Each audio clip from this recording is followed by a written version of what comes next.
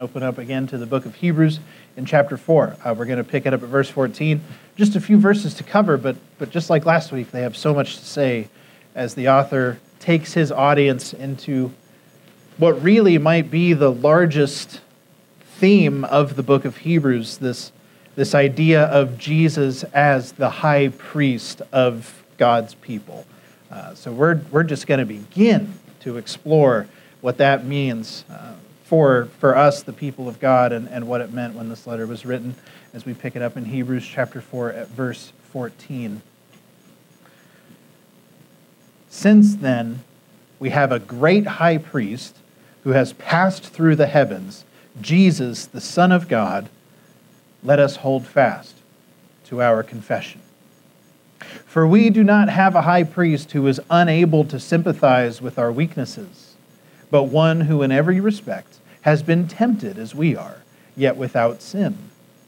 Let us then with confidence draw near to the throne of grace, that we may receive mercy and find grace to help in our time of need.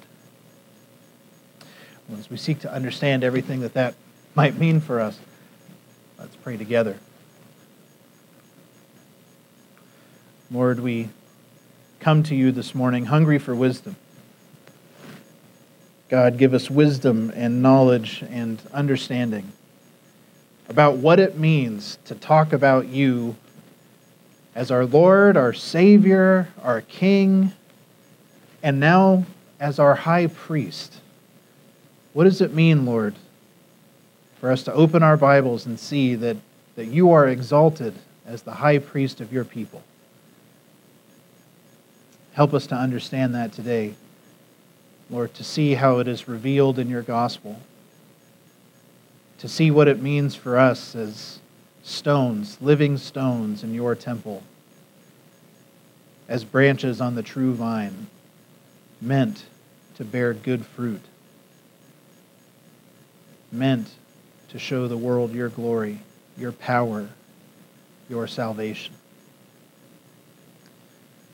Lord, give us wisdom, reform our hearts renew our minds. We pray and seek your help this morning, dear God. Amen. I think for us to really understand what verse 14 and 15 and 16 have to say, we actually have to dial it back one verse and, and remember what was the last thing that the author had to tell his readers back in verse 13 here in chapter 4, which was the last verse that we studied last Sunday. So, for a group of Christians who are, at the time that they received this letter, in the middle of what the author calls the time of their temptation, right? That's the trial that they're fighting through because they're seemingly being persecuted on all sides, and well, all signs point to the idea that it's going to get even worse. The author gives them these words from verse 13, and I don't really see any other way to read them other than like a stern warning to a people who are vulnerable to temptation. That he tells them, No creature is hidden from God's sight, but all are naked and exposed to the eyes of him to whom we must give an account. Essentially, what he's telling them is that there, there is none of us who are so small or insignificant that we can escape God's attention we can have no confidence in the idea that, well, I'm just little old me. What does God care what I'm up to? Why would He pay attention to what I'm doing, both in public and behind closed doors? The inverse of that is also true that there's no one who is so great or important or necessary that God would overlook what they do and what they say. There's no one who gets a free pass from the judgment of God because they're just a person of such high status or great importance or vast wealth or anything like that. These words are a warning that when we stand before the throne of God for judgment, and all of us will, on that day, all of us are equal. All of us stand naked and exposed before his eyes.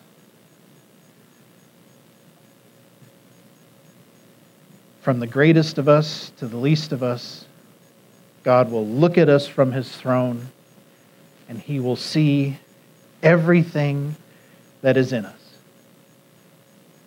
everything that we are, and everything that we've done. All the stuff that's in our mind, all the stuff that's in our heart.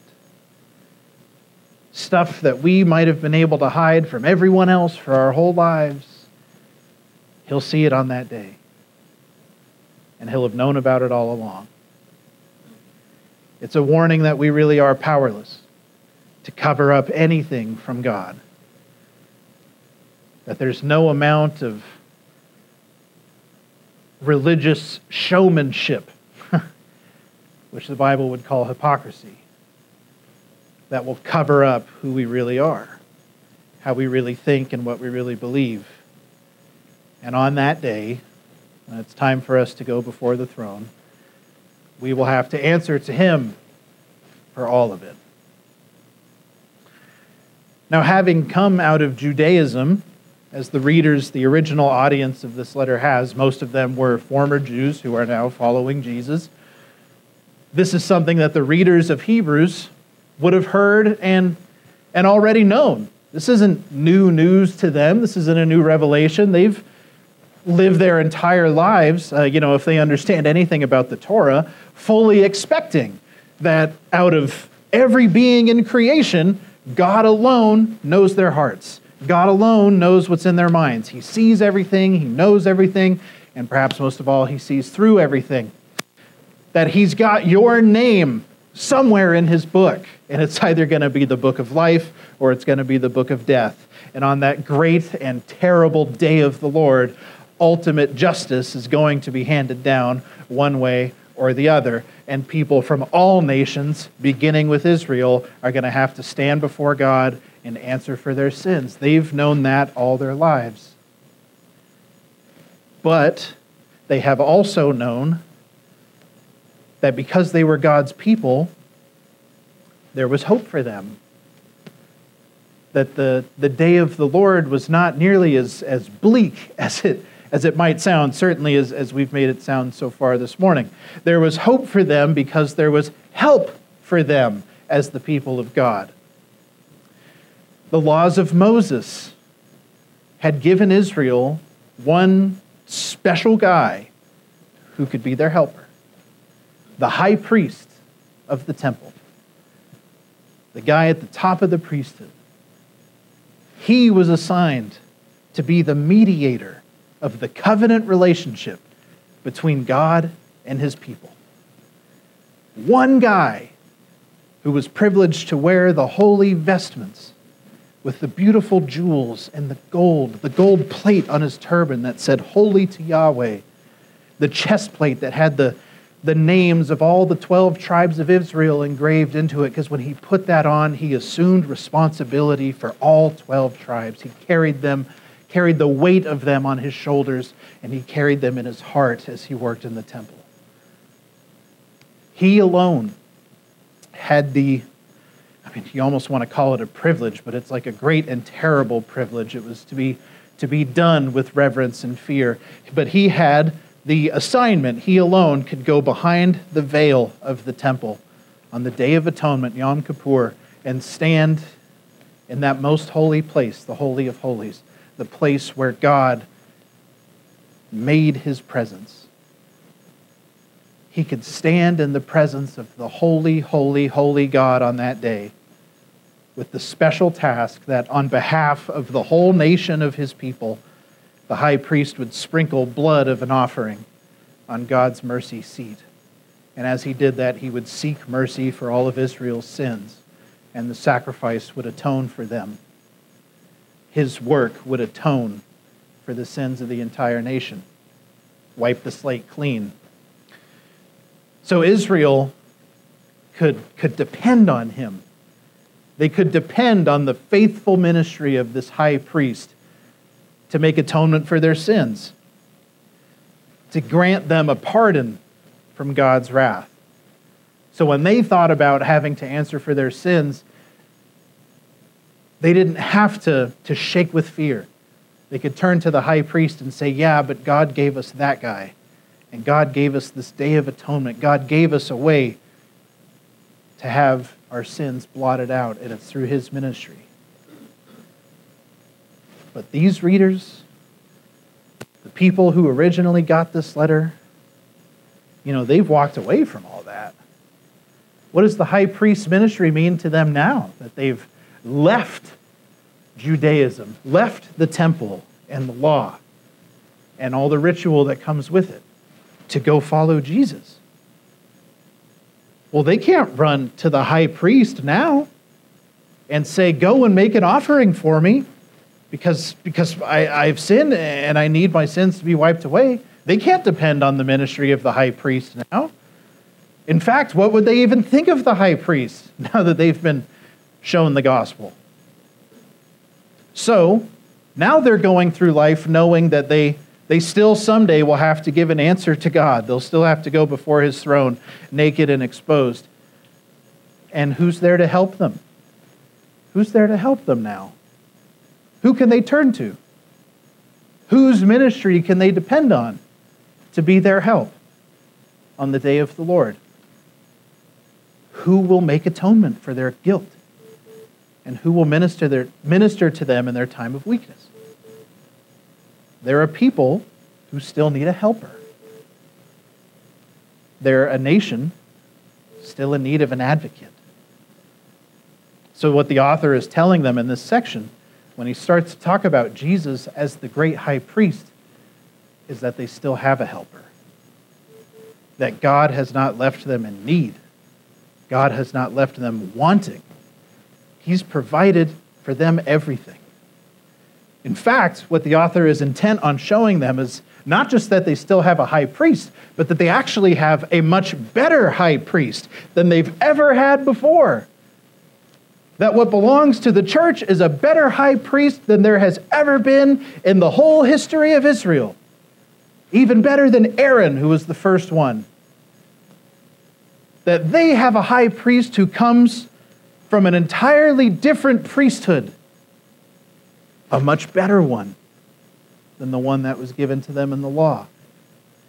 They have the best possible high priest, the maximally ideal one one who was more capable and far more qualified than anyone who has ever stepped through that veil, anyone who has ever worked in the temple. And they can turn to him. They have a high priest who they can turn to. They have a high priest whose ministry they can still depend on. The author starts to tell them that when he writes to them that they don't just have a high priest, they have a great high priest what we translate as great in our modern English Bibles is this Greek word megan, where we get like mega, meaning that he is he's not just great, he's the most great. He's the greatest. He stands alone. He is far, far, far superior to all other high priests that have ever been or ever will be our high priest is the only high priest in all creation, in all history, who could be called the Great One. He is one of one. So his readers don't have to have any fear or any anxiety that, well, now I can't go to my high priest in the temple. Because God has given them a high priest who's infinitely greater. He's greater because of what he does, what he has done and who he is. The author tells them next that, well, our high priest is great because he, he has done things that no, no one else ever has or ever could. That this great high priest, he alone has passed through the heavens. Now, the readers of this letter are supposed to hear that and immediately hear the comparison with, with the work of the high priest back in the temple. They're supposed to hear that and remember that all the other high priests in Israel's history, you know, their, their most important, most sacred job was to go and stand in God's presence on Yom Kippur, was to go and pass through that veil into the Holy of Holies in the earthly temple and make the blood offering for Israel's sins. And of course, when his work was finished, you don't just get to hang out in the Holy of Holies, you have to go. But this great high priest, the one that belongs to the church, the one who we have, he hasn't just passed through the veil of a temple here on earth. He has passed through the heavens. He's passed through the heavenly veil. He has entered he has entered the heavenly temple which itself is the glorious blueprint for the temple that was built on earth. You know, when God handed down the instructions of the law to Moses for the tabernacle and the temple, he told him, like, this, this is supposed to be eh, sort of a reflection of this holy temple that exists in the heavens. Well, that's the temple that our high priest has stepped into, which is far greater, infinitely greater, so far beyond the glory of the temple here on earth. Our high priest hasn't just stepped into the holiest place on earth, he has entered the holiest place in the entire universe, in all of creation. He stands in the Father's presence, in the Father's own heavenly throne room. And in fact, when our high priest enters that throne room, it's not, it's not just the Father's throne room, it's, it's his too, because he sits down at the right hand of the Father. So our high priest is great because he goes where the, the, all the priests who belong to the line of Aaron, the, the line of priests that was given through the law, our high priest goes where they could only dream of going. And he doesn't have to leave, he gets to stay there because he belongs there, because he has the right to be there. Our high priest has access to the Father in ways that no other priest that has ever been or ever would be could possibly have. And because of that, he makes intercession for his people in a way that no other priest ever could. And that's one of the reasons why he stands alone. That's why he is not just great, he is the maximally great.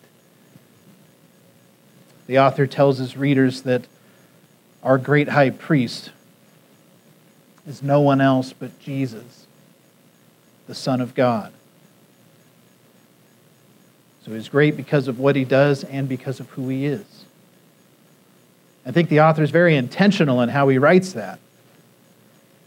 Because in those few words, in that brief title, Jesus, the Son of God, he brings together this reminder of Jesus' humanity, but also Jesus' divinity.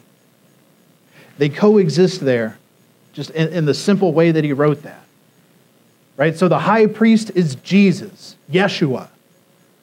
That's the name given to God the Son when he took on flesh, when the Word became flesh and pitched his tent and dwelt among us. That's the name Joseph gave him. The name itself Yeshua places this emphatic reminder upon the fact that, that Jesus really was fully human. That for a time he shared our nature, became like us. He experienced our struggle because he took on flesh. He experienced what it is like to wrestle against sin as one who has the flesh in the same way that we do. So there's that reminder of his humanity, but then the author says he's Jesus, the Son of God. So he immediately meets that with this reminder of his divinity as well. That he really is the one who, who has been God's Son since from before the beginning. That he really is eternal. The author wants his readers to remember that that yes, this fully human Jesus has always also been fully divine. That even when he took on flesh, he never stopped being fully God. And that is what makes our high priest so uniquely great. That's what puts him so far above all the others. That's what makes him such a powerful help to his people. Only Jesus can come to us as both fully man and fully God. Only Jesus is, is perfectly set apart from human weakness because he's divine, but also perfectly understands human weakness because for a moment he participated in it. He volunteered to experience it. He wrestled against it in the same way that we do. What makes our high priest so great is what the author alluded to back in chapter 2 at verse 18 that because he himself suffered when tempted, he can help us who are being tempted. And it's a really it's a really good time to, to give his readers this important reminder. Because what have we been doing all throughout the letter of Hebrews so far? Well, the author's just been exalting Jesus heaping greatness upon greatness upon greatness, telling his readers how, how powerful and awesome and amazing Jesus is. He's greater than the prophets, he's greater than Moses, he's greater than Joshua, he's even greater than the angels. And that might leave his readers feeling a little bit like, gosh, if Jesus is so much greater than well, then all of them, all these guys who we look up to, who are so much greater than us, well, if Jesus is so much greater than them, well, then he must be so high above us, lowly little creatures, that how can someone so holy, so great, so powerful, so majestic, how can someone like that understand what it's like for us? How can someone who's so high up possibly relate to the experience of us who are down here? at the bottom of the ladder? How can, how can perfection relate to imperfection? How can strength relate to weakness? It's possible that they had it in their minds that Jesus was so far above them, he just can't possibly understand how they think or how they feel, especially when they're going through trials. So the author, I think, puts that right there to tell them no, that's not the way it is at all. Our high priest is great. Don't misunderstand that. Everything we've said about him so far is true. He is maximally great, he's perfect, he's holy. However, that doesn't mean he can't understand us. Because our high priest, gosh, he doesn't just understand us, he suffers with us. That's what the author tells them in verse 15. We do not have a high priest who is unable to sympathize with us. Sympathize, in Greek, sympatheo, literally meaning to suffer with. Sympathy, to sympathize, might be a word that we have developed a bad definition of. Maybe we don't fully understand it. Because I think commonly we believe sympathy is something that can be kind of summarized in a greeting card, something you can show through the words of Hallmark or shoebox greetings, something that can be adequately summed up by something you would find at a CVS yellow flowers in a pink envelope.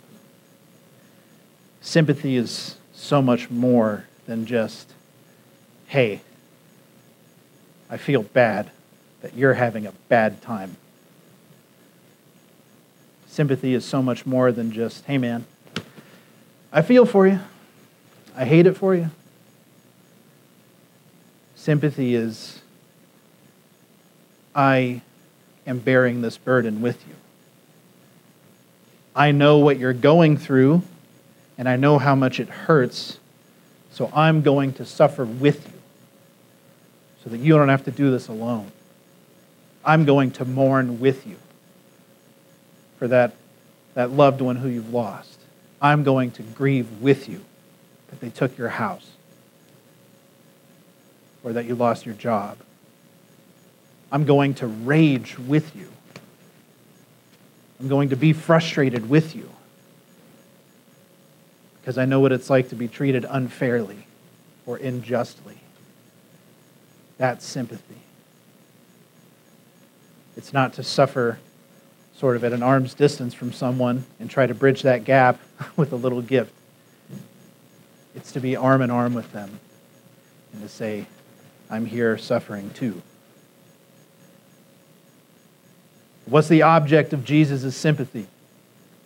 Well, the author makes it pretty clear. He says he sympathizes with us in our weakness. So, as we suffer because of weakness, Jesus suffers with us because he knows what human weakness is like. Jesus knows what our suffering is like. And he doesn't just know it as like a concept that you would read about in a book, he knows it fully, he knows it completely, he knows it intimately because he's experienced it too. And that's why he's able to suffer with us. He's able to be our great high priest, be our help when we're tempted, because Jesus has been, in every respect, tempted as we are. That's how the author puts it. Now, what does that mean? To say that Jesus has been, in every way, like to every extreme, tempted as we are. Well, because what tempts us? Well, our various trials and challenges So, has Jesus experienced all of the trials and challenges that we experience? But that's not what that means. Right? There are certain challenges and trials that Jesus, by definition, uh, never had to experience. Right? He was never married, so Jesus never had to experience a divorce. Uh, Jesus didn't work for a corporation, so Jesus never got fired from his job. Jesus didn't own a house, so Jesus never had a house foreclosed on. You know, there are, we, we could get lost saying, well, did Jesus experience all the specific tests that I've experienced? No, but here's what it does mean that what underlies all the different trials and challenges that we go through that, that manifest themselves in our lives, what underlies them is really like a basic set of temptations, of challenges that we have to wrestle with bigger things like heartbreak, anger, frustration, loneliness, sadness. So when it says that Jesus has been tempted in every respect like us, it's like he's wrestled with all of the same basic trials and challenges that we have to wrestle with. Right? If you get if you do get booted from a job, what do you go home wrestling with? Fear, Bitterness? How could they do that to me? Anger? What this means is that Jesus wrestled with things like that. When we go through heartbreak, when we lose someone who we loved, what do we experience? Well, probably again some fear, probably again some frustration. But man, sadness, loneliness, isolation. Jesus wrestled with all that stuff. His temptations are of the same nature as the temptations that we experience. What this verse means is that Jesus went and did battle with all the same kinds of trials and challenges that we do. And that he had to wrestle them wrestle with them in the same nature that we have. All right? Because remember, that's that's his full humanity and his full divinity. So it's not like Jesus was tempted but well, but well, he's God, so he, he was never really tempted. It's like, no, in his full humanity, he experienced having to resist anger and having to resist sadness and having to resist bitterness in all the same ways that we would. That's why he can understand what it's like for us, because he had to fight that battle the same way that we do. When we think of Jesus being tempted, you know, where do our minds immediately go? Well, probably to that experience that he has with Satan in the wilderness, right? Oh, you're so hungry, turn the stones into bread. Oh, you know, you're so great. Why don't you call down angels? They'll come and catch you if you jump off the temple. Hey, why don't you bow down to me? I'll give you control of all the kingdoms of the world, right? But the temptations that Jesus experienced, the moments where he was tested or tried by something, go so far beyond just that little entry in the Gospels where he's going one on one with the devil, and of course he wins. It's not the only day of his life that Jesus had to endure temptation. Just like our lives are filled with various trials, as James says, well, Jesus' life was the same way because it was a life lived here in the place where there are constantly trials of various kinds all around us. When the crowds came to Jesus, for instance, in John chapter 6 at verse 15, and they were so on fire for what Jesus was saying that they wanted by force to take him and install him as the king of Israel, to essentially lead an insurrection against the king and, and put Jesus on the throne. That's an example of what I'm talking about. That's like one of these moments where Jesus was probably tempted to go one way or the other, right? Because the crowds came to him and and, and man, they're loud and, and they're ready to go to war for him. And it's, he could have just said, like, okay, like, let's do it. I'm supposed to be the king anyway. Yeah, let's go fight that guy. Let's go get rid of Herod. You guys deserve a better king, right? He could have gone that way. I mean, he couldn't have. He's Jesus. But, you know, the temptation was there, the trial was there. That's what I'm getting at. When the rich young man, for instance, came to Jesus and and he says, Hey, I've been following the law my whole life. What do I have to do to receive eternal life? And Jesus tells him, Well, go sell everything you have and give it to the poor. Right? He could have said, Well, sell everything you have and come and give it to me. Right? He could have exploited that young man's curiosity to get at some of his wealth. There are religious leaders who do stuff like that all the time. There were times where Jesus was, you know, we, we always think of his suffering, but man, there were times in his ministry when he was, when he was up instead of down. There's a time in, in the Gospels where Jesus has this massive following, where, where he's, he's got thousands of people who are coming to hear him teach. And at any moment, he could have exploited them and used them for his own gain. He could have exploited them and used them to make him rich, to make him famous, to give him power and prestige and privilege, but he never did. There were times where Jesus was up, and of course, we know there were times where Jesus was down, where Jesus has to endure heartbreak. I mean, my gosh, this is a guy who, who went to the cross after being rejected by his own people betrayed by his own friends, who was denied three times by the very best of his friends. You don't think Jesus in all those days had to resist some anger and some frustration? I mean, this is a guy who every time he tried to teach in public, somebody was there to, to pick a fight with him some group of those Pharisees would come find him and try to lay these little traps for him. And, and you know, what they thought they were going to do was to reveal him as someone who actually didn't know the law or didn't love the law, like he said. Someone who should be hated instead of followed. Those guys popped up throughout his ministry all the time. Even among his own disciples. The guys who he kept with him, who he was teaching all the time, telling them things and showing them things and revealing things to them. He had to deal with disciples who, gosh, didn't understand him, didn't understand, even at the most basic level, some of the stuff he was teaching them. Right, when he tells them, hey, when we get to Jerusalem, I'm going to be handed over to the Gentiles. I'm going to be crucified and killed, but don't worry, because I'm going to rise again. The Bible tells us that the disciples didn't even understand that. That they started going, man, what could he possibly be talking about? Gosh, or when he tells Peter, when Peter says, hey, some people say you're a prophet, some people say you're Elijah. I say you're the Son of God and you're the Messiah. And Jesus says, Yeah, Peter, you're right. And I'm going to go to Jerusalem and die. What does Peter do? Even Peter argues with him. Says, No, Jesus, that can never happen to you. So even the disciples who were supposed to be able to teach the world about him for a time had trouble understanding him. Tell me that's not frustrating. Jesus had to stand before crowds.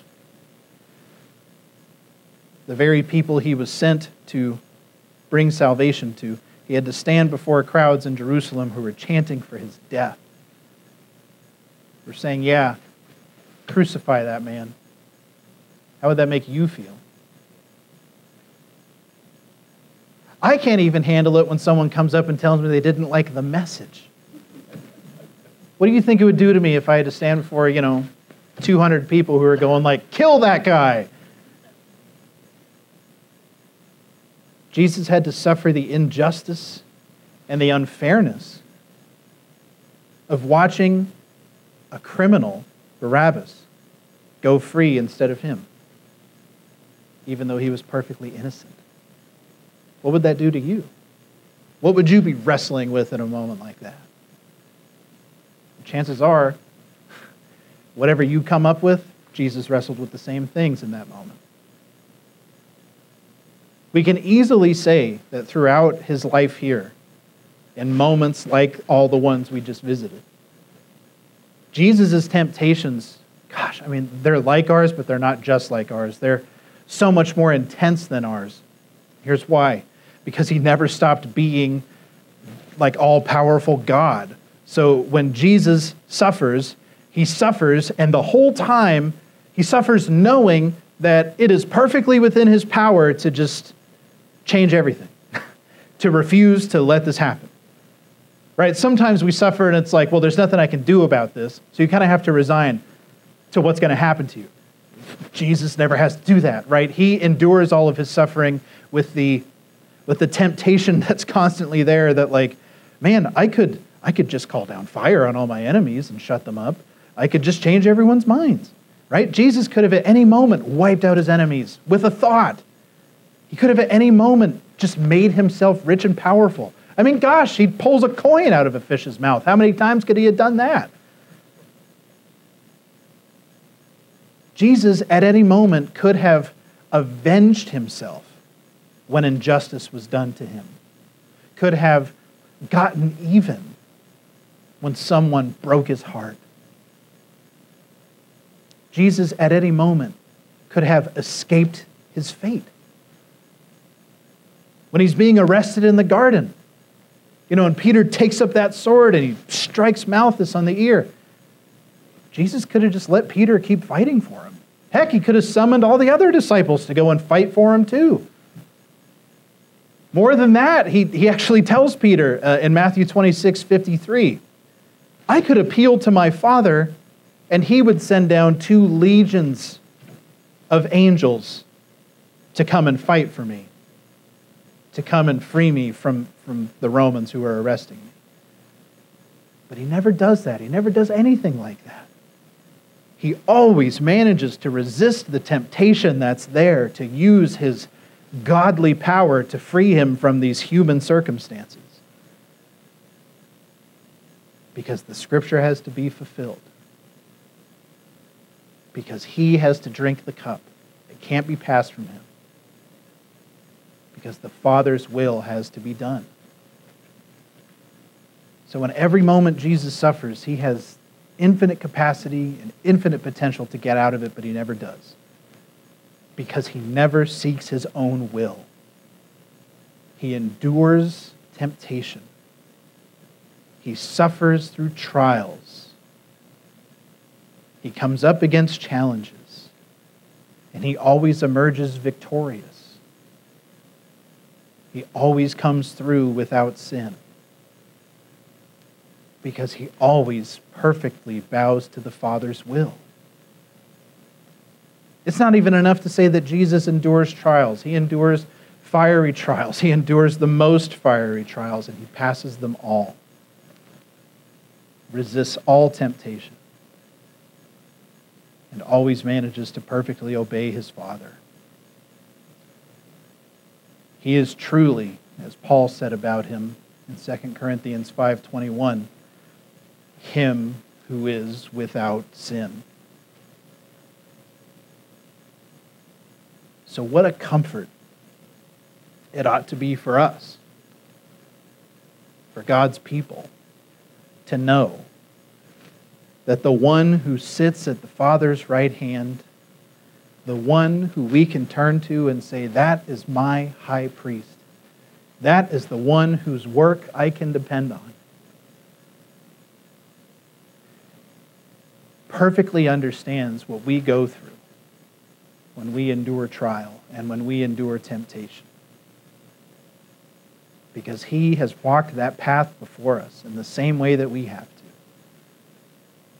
the one who sits at the Father's right hand, knows truly and fully what we need when we're being tempted.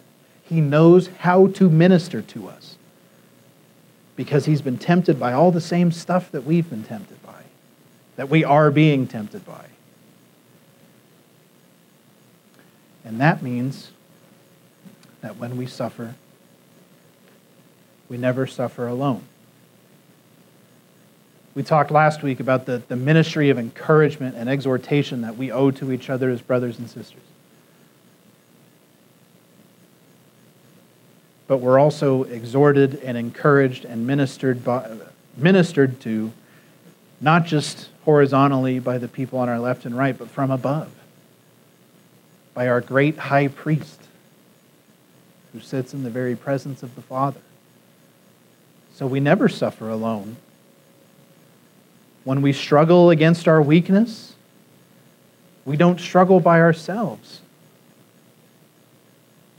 I, I tell you, man, it can be a very, um, very damaging and dangerous thought that when we, when we know we're being tempted by something, when we know we're being tested by something, uh, to feel like, oh my gosh, like no one else probably wrestles with this kind of temptation.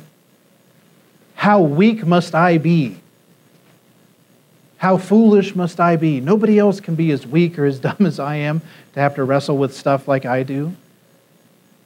It's very easy to convince ourselves that, like, we are uniquely weak out of all God's people, that we must suffer alone because nobody could be as bad as we are.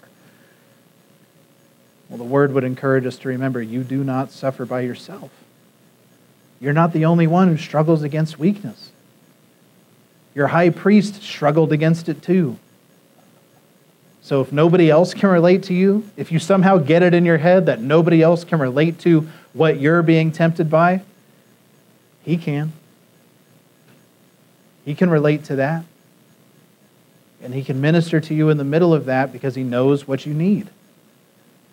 And man, I mean remember that because that alone can be such a such a powerful thing to know that when you're in the middle of your struggle, it's just someone somewhere is struggling along with you. Someone else somewhere knows what it's like in your heart and in your mind, knows what it's like to feel the pain and to feel the temptation that you feel. That alone is a powerful thing. I know that because I, I have been ministered to by that uh, in a very real way. Actually, not, not even by just a person, but, but by a book, weirdly enough. It's one of my all time favorite books. It's called All Quiet on the Western Front. Did you have to read that in school by chance? That's the first time I read it, uh, actually, when I was in high school. And it didn't mean much to me then, but gosh, it came to mean a lot to me over the years. Because I read it then, and then I never thought about it. And then someone actually mailed me a copy of it while I was deployed to Afghanistan. And over the roughly year and a half that I was there, I managed to read it a second time. And then when I came home from the Army, I reread it a third time. Because when I came back to civilian life, I came back at a time that I was struggling with some pretty serious, you know, PTSD symptoms. Couldn't sleep, didn't really want to make any friends, didn't really want to participate in society. Terrible dreams, terrible thoughts, just terrible feelings all the time. And on the rare occasions that you could actually get me to talk about it, I always felt like I was being reminded that no one else around me had to suffer the way I was. That no one around me could relate to it, not even other veterans. Because some of the older guys who had gone to Nam before me thought they knew you know, what the war was like, and they'd tell me, oh, it can't be that bad for you. It can't be as bad as it was for me. Ha ha. Okay. I didn't have any family who served. I didn't really have very many friends who had served, so no one around me was going through the same stuff that I was. Nobody could talk to me about it in a way that showed me they understood. So when I read that book again, I got to this part. There's this part in that story, All Quiet on the Western Front, where the main character, his name's Paul. He's a young German man who fights in World War I, and he comes back home to his German hometown. Remember, World War I is the one where the Germans weren't Nazis, okay? So it's not a Nazi book. but he comes back home to his German hometown from the trenches of World War I, and at first, when he gets home, he's happy to be there because he's away from the war. But pretty quickly, he realizes he can't relate to anyone back home anymore. His mind has been changed by the stuff that he's had to do and the stuff he's had to experience. So when people ask him questions about how the war is going, he says they're just annoying and their questions are stupid. And when people make comments to him about the war, it's like he can't deal with it. They just bother him. And he's surrounded by people who are really enthusiastic about the war because, you know, they've never been to the front. And that drives him nuts because it's like, how can you be cheering this on? You don't know what it's like for us out there. And we're just a bunch of young guys who are having to go through this. So when he's back home, he spends all of his time feeling like, oh my gosh, I can't wait to just go back to the front lines. I can't wait to go back to the trenches because at least there, people understand me. And at least there, people know what it's like. And they don't do this annoying stuff that people do back home. And gosh, when I read that, it was like it hit me all at once. I spent all this time thinking I was suffering alone. I was never alone. That book was written by a German guy all the way back in 1929. And reading it again showed me like across that gap of time and culture and everything else, this guy understands what I'm going through as an American in 2010. And if that can be true, then, then maybe what I'm going through is more universal than I think. It's not that I'm too weak. It's not that I'm broken. It's not that, I mean, there's a lot wrong with me, but it's not that I'm suffering because there's something wrong with me. Maybe this is just something that war does to young men and maybe there's a lot more people than I think who are going through the same stuff that I'm going through, who are in the middle of the same fight that I'm in the middle of. And I tell you, when I realized that for the first time, that finally gave me the courage to talk about it. Because I didn't feel like a freak. And I didn't feel I didn't feel uniquely weak or uniquely broken. Because it's like in any room of 100 people, if there's at least two other veterans in there, one of them might know what I'm going through. One of them might be able to relate to what I'm going through. It meant, I tell you that whole story to get to this one point. It meant the world to me to know that I just wasn't alone.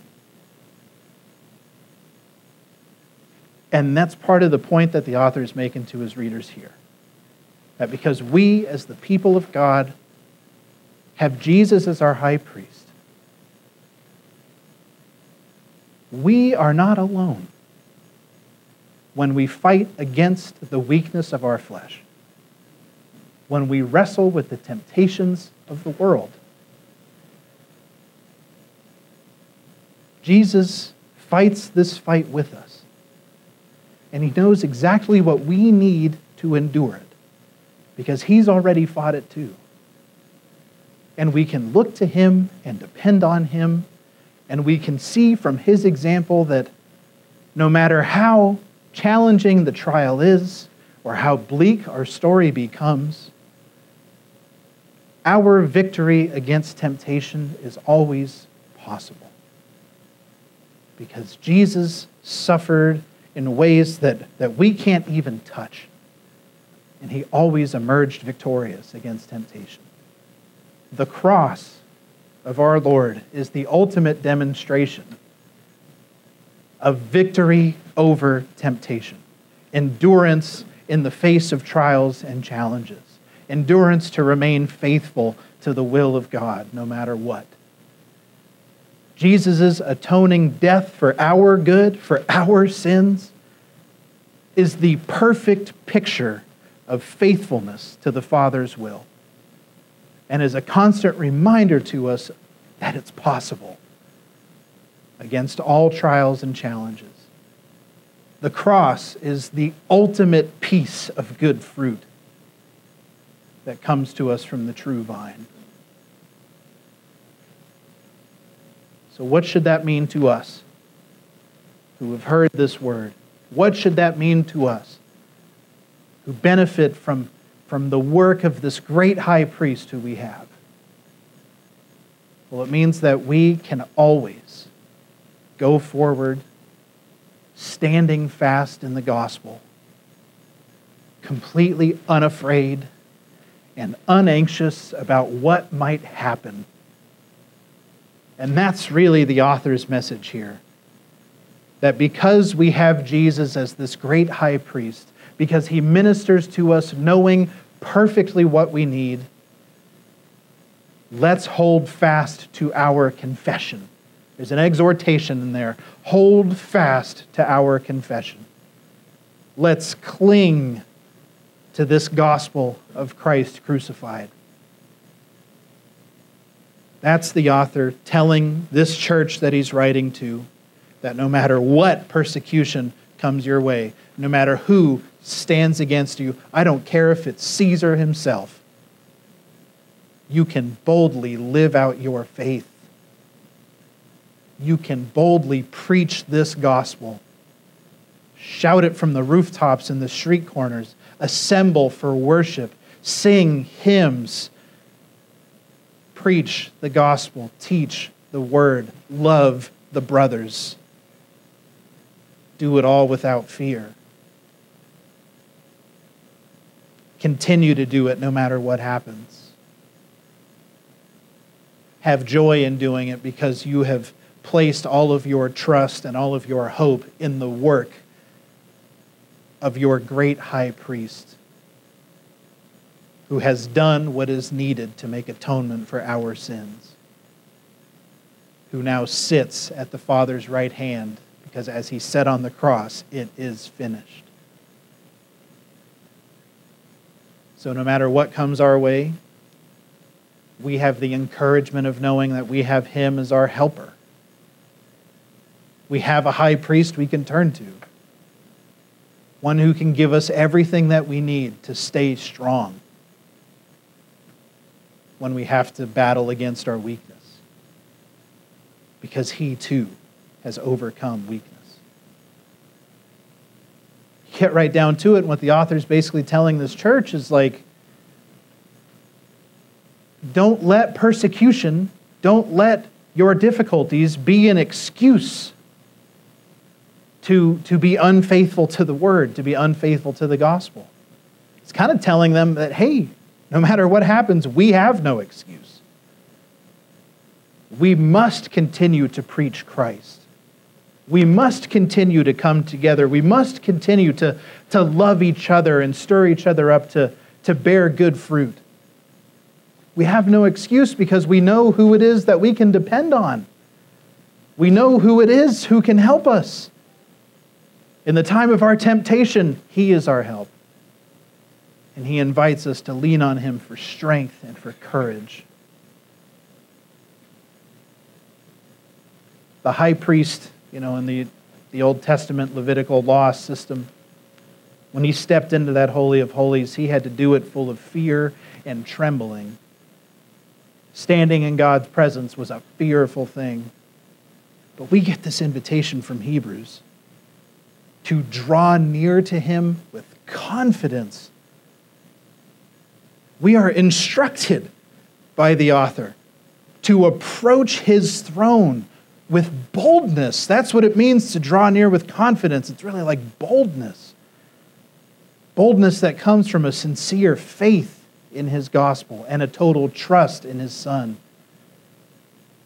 You know, we started, we started at the throne of God. That, that that was the place of his authority. That's the place of his judgment. right? It, it's from his throne that he will see us, and, and we stand fully exposed and totally naked before him. But the author reminds us that for the people of God, because of this gospel, because of our Messiah, our Savior, because of our high priest, that throne that looms so big and, and so, so scary and so terrible in our minds, that throne is actually also the throne of God's grace. It is the throne of grace, he calls it. And it's not just where we go to stand for judgment.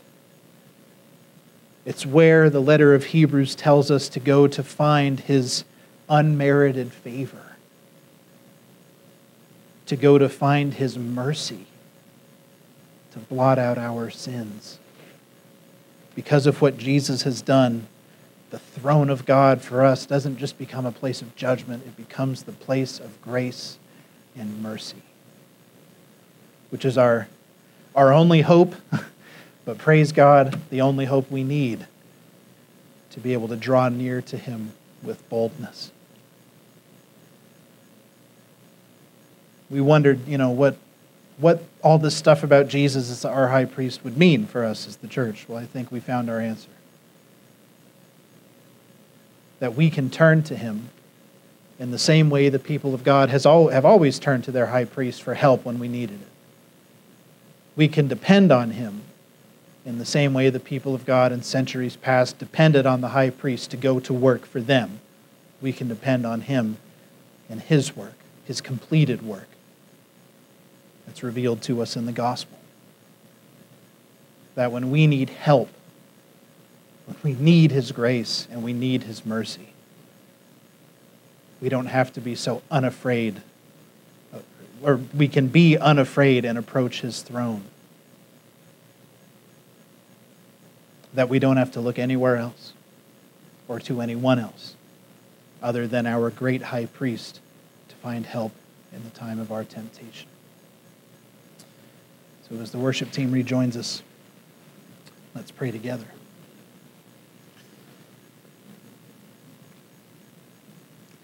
Our Lord Jesus, our great high priest, Jesus, the Son of God Lord, we thank you for the many ways, the many necessary ways that you minister to us in the middle of our weakness. Thank you, Lord, for emptying yourself out, taking on flesh, and dwelling among us, so that you that you would know perfectly what it's like for us to go toe to toe with our anger, for us to go toe to toe against lust, for us to go toe to toe against greed, and all of the other all the other words we could plug in there as a temptation or a trial that we have to endure. Lord, thank you that your word tells us that you've endured those same trials. So you know what it's like for us. And that's why you can be such a perfect help when we need it most. Lord, we need you all the time. We lean on you. We depend on you. So, Lord, let this be a, a time that reminds us to never fail to turn to you. When we need help, when we're being tempted, when we're about to, to click on something we shouldn't, or entertain some idea that we shouldn't, or when we have some, some thought, some notion that we know is, is unholy, unrighteous, something that comes to us from the flesh and not from your spirit. Lord, let us always remember to turn to you first, to come running to your throne, to find the grace to endure temptation and trials today, to find the mercy that covers our sins when weakness gets the best of us. In your glorious name, dear Jesus, we pray. Amen.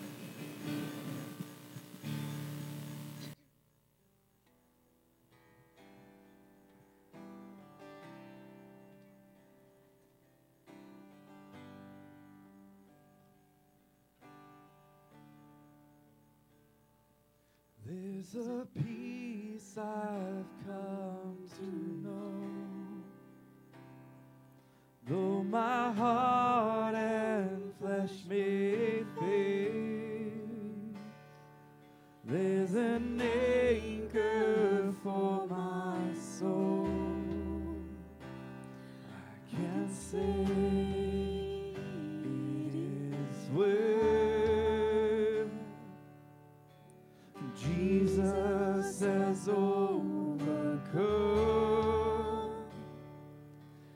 the great.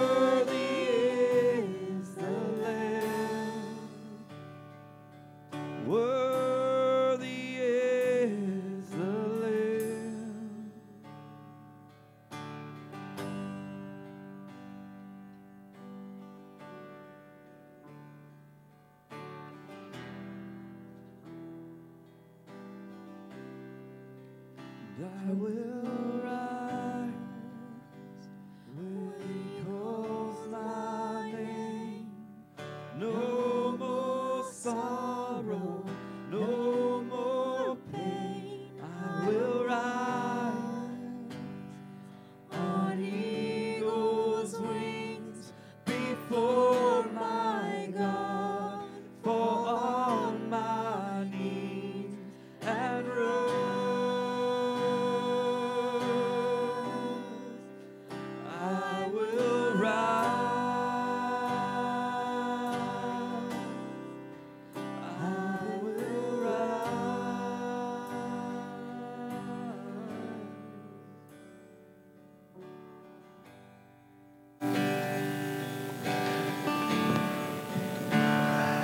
Have to forgive me. I can't recall right now exactly where it is in Paul's epistles.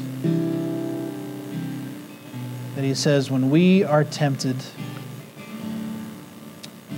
God has given us a means of escape. That escape is Christ. He is where we find strength in the middle of our weakness.